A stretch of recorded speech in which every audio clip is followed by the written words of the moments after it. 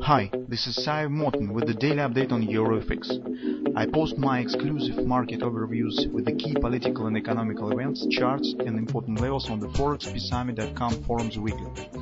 This short video is a response to rapidly changing situation on the currency markets and should help you to stay on top of the game and be profitable. I suggest you to visit ForexPeaceArmy.com forum and read my analysis for the week before watching this daily video. Greetings everybody guys. Uh, so right now actually it's uh, no difference what currency to watch for. Uh, among our setups that we have discussed previously within the week because all markets across the board just waiting for non-farm payrolls release not really big activity right now.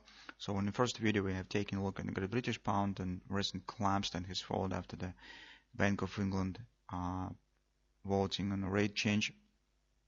And in the second video today right now we will keep an eye on the euro currency setup that we have and on the New Zealand dollar briefly. So on the euro currency, guys, mostly market has completed the first step of our trading plan that we have discussed in the last weekend. So we said that the first action will be up, but this action should be small. Uh, because mostly this will be response to daily oversold and confluence support, but at the same time to keep overall bearish situation, bearishness, on the market and keep bearish stop clear, market should not return back above the neckline.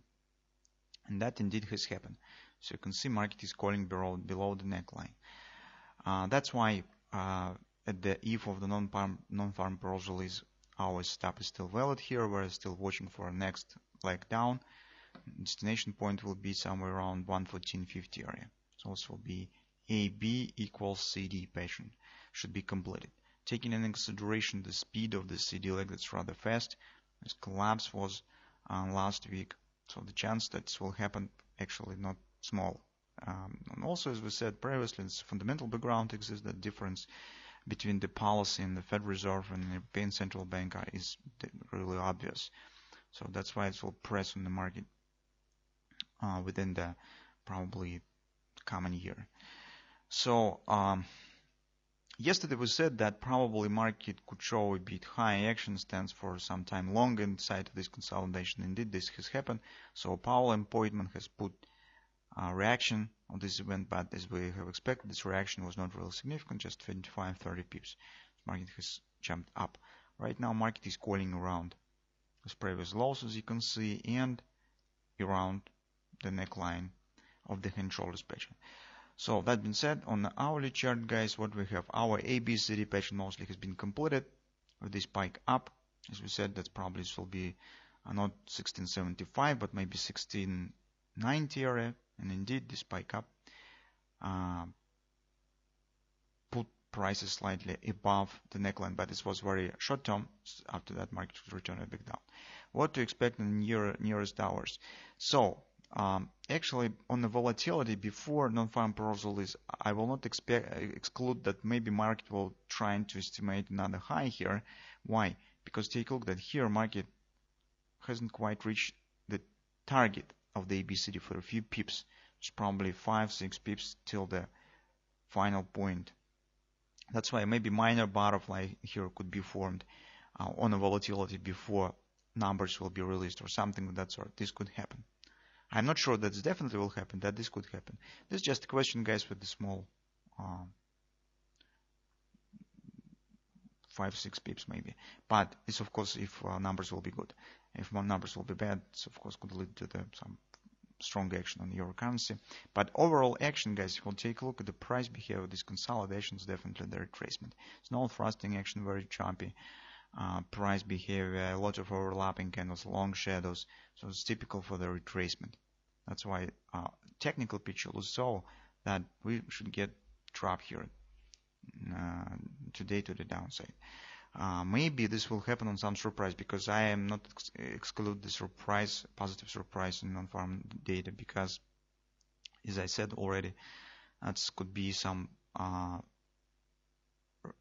reestablishing uh, of activity in the southern states uh, that were harmed by the hurricanes in the last month.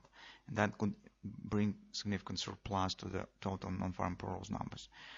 Um, well, um, and, and, and, and uh, consequence of the hurricanes is very often to calculate correctly and uh, that, this is some um, source of surprise here we have.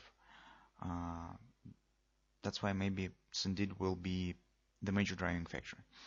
So that we have on the euro currency. Now on the New Zealand dollar. On the New Zealand dollar, guys, as you remember, we are watching for minor retracement up. And here, those of you who have the bearish view could take the short position. Uh, recall that we discussed yesterday, it's approximately should be around 69.70, 69.65 area. And market gradually is moving and moving higher, so probably today so also this point could be achieved because on the hourly chart on the New Zealand dollar we have the minor butterflies forming. And this butterfly particularly has destination point somewhere around 69.70 so on the volatility uh, non-farm pros volatility is also could be some uh, nerv nerv nervousness around and maybe market will reach this area. But after that we expect the drop mostly because we have on the daily chart as we have discussed yesterday and completed a BCD 1618 target right below the market. So these setups we have right now, let's keep watching what will happen. And stop on the euro currency will be also very important for our long-term analysis. Because if you remember, we have long-term uh, forecast, long-term expectation for the euro, and it suggests right now dropping here, but after that it suggests significant retracement up. So from that standpoint, it's very important to see what really will happen here, whether the market will confirm this by the downward action or not. This will be our primary object to watch for today.